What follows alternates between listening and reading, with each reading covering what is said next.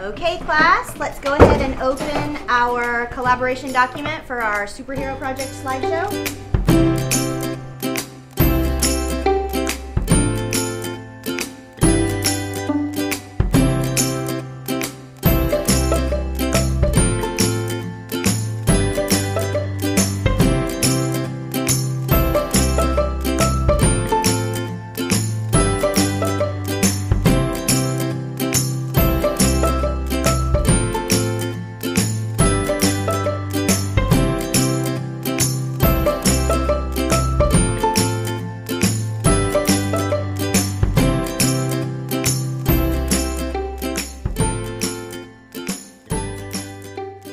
My favorite superhero is awesome.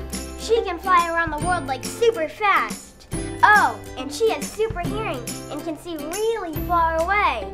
And she helps all kinds of people every day. That's why she's the coolest superhero I know. My mom!